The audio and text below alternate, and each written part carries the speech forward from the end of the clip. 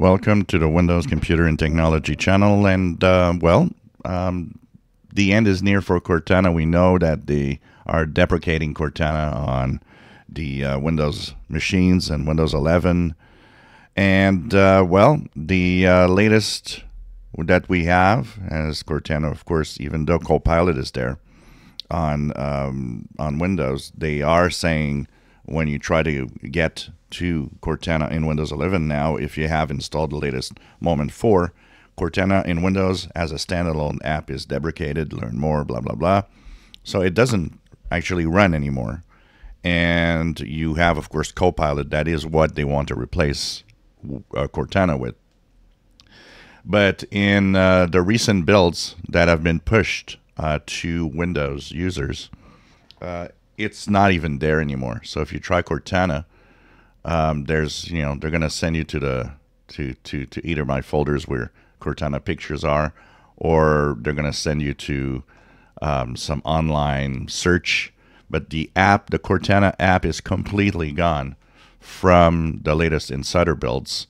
So uh, it is the end of an era. Cortana is um, is a brand that you know started with Windows 10 um, had some promise at the beginning, but uh, of course, for like like a lot of features like that, not a lot of people used it.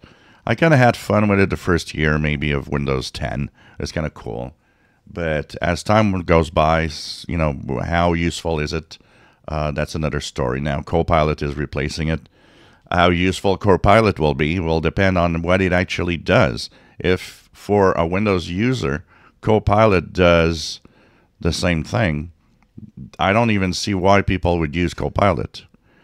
Um, where I wonder is if it brings more, and of course, maybe it will in Windows 12, maybe I don't know, but um, it's it's with what Copilot looks like now, and actually Copilot is even worse than Cortana because it takes a lot more time to do whatever you want to do than Cortana ever did.